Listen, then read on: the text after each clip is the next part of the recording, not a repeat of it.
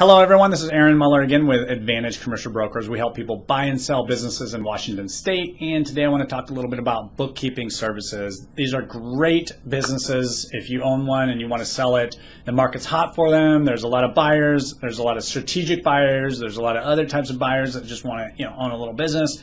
So you have a great company that uh, is very marketable. You know, but pricing is going to be determined by many factors. I'm just going to go over a few of those factors with you to give you an idea of what to be thinking about when you want to sell. Uh, obviously, revenues are a huge part, you know, of any business. Uh, so they're going to look at how big the business is, how many, what your what your annual revenues are. Um, obviously, profits, that's what pays all the bills, the loan payments, and stuff like that. So we will help you determine your owner's discretionary income, not just your profit at the bottom, uh, the bottom line, but the, the, the income that you truly make through that business through write-offs and different things like that we'll add back into it. Um, you know, how many clients do you have? You know, do you have 10 or do you have 100? Obviously, the more you have, the more diverse your company is, less scary it is for somebody to buy. Um, what types of services are you performing? Is it just bookkeeping, or do you offer like payroll, AR, AP? You know, do you do uh, taxes at the end of the year? So, are you a CPA firm, or do you um, hire that out to somebody? All that stuff plays a part in like what somebody might be looking for um, out there to buy, and and the multiple uh, plays a big part, and uh, and or those items play a big part in what the multiple ends up being. Um, what's your hourly rate? Are you at market or below? You know, like, are you getting great rates? You know, like a lot of times we'll run into case, cases where people have been charging the same amount for so many years. So if you're a little bit below market, I would recommend before you even put it on the market that you do your rate increases and get people, uh, you know, okay with that. Probably, you know, maybe like give them about 60 days to absorb it and be okay with it because if you're below market, uh, strategic buyers are going to have a problem with that, and they're going to they're going to see it right away.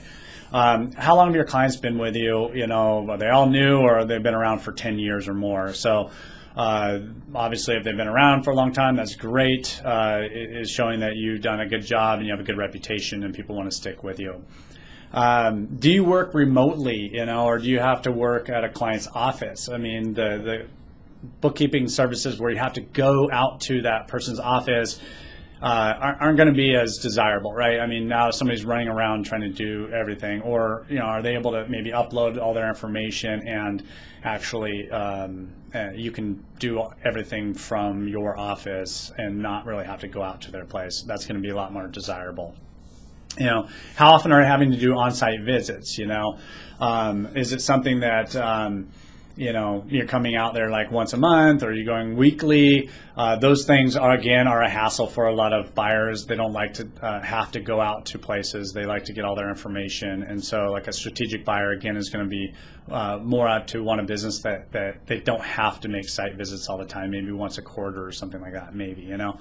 Maybe an individual buyer might be okay with it more often but like if it's a, a you know a strategic buyer definitely uh, it's it's going to be something that um, they're looking at just doing it remotely. Um, so the other thing is like even like you know location um, uh, of where all the business is located can play a big part. You know, like let's just say it's in downtown Seattle or something, or downtown Bellevue. That's going to be a lot lot better than maybe somebody that's out in you know. Um, way far out in Snohomish or in Mount Vernon or, or down south, like in Olympia or something like that, where you know, there's because I guess what I'm saying for, for that is there's a lot of firms that are looking to expand in the uh, Seattle metropolitan area, and so when it gets out too far, it starts not making sense then to them to expand their business because those are the people that are probably going to most likely be that you know do the acquisition. Um, obviously, there will be some smaller practices that will do something out in these other areas, but I find we've we've had this one situation where we had a, a, practice on the east side and one in um, in Auburn, and the one in Auburn, you know, it just took a long time to be able to even sell. Um, where the one on the east side sold right away because it just there was just way more people that were, you know, it, it fit their criteria of where they wanted to be. So if you need help selling your uh, bookkeeping practice, or you want to just understand the valuation, or, or, get, we can give you a free valuation on your business. Um, uh, get a hold of us at sellmybusinesswa.com. That's sellmybusinesswa.com. And we'll give you all free advice and hopefully start working together and uh, allowing you to retire or move on to some other career. Thanks for watching, and we'll see you soon.